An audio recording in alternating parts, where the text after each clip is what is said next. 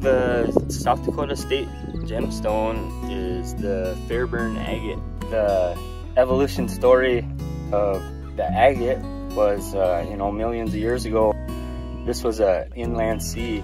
Over the years, the flora and fauna settled down into the bottom of this sea and eventually created this huge, thick limestone layer that had voids and pockets within it.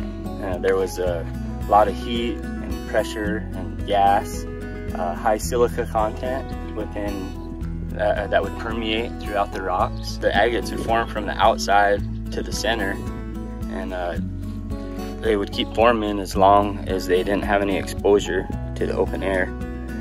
But about uh, 50 million years ago or so, when the Black Hills uplifted, they pushed up through this layer of, of uh, limestone and exposed this formation and fractured it into billions of pieces. Over eons, they tumbled out across the prairie and they gained this natural patina known as the, the Badlands patina that makes it a real sought after collector's item. Actually got a deeper meaning to the Lakota community.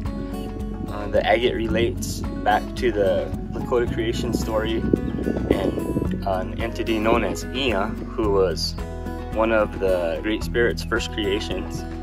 And Íŋyaŋ gave all of himself to create, create all of us and, and everything there is. For instance, he shed his blood, became our water, and his skin became our planets and stars.